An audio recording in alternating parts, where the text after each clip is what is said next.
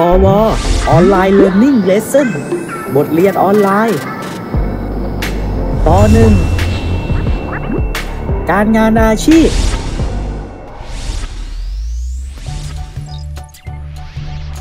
การพรวนดิน การพรวนดินจะทำให้ดินโปร่ง น้ำและปุ๋ยจะถูกลำเลียงไปถึงพืชหรือต้นไม้ได้สะดวก และช่วยกำจัดวัชพืชไปด้วยนะครับ เอ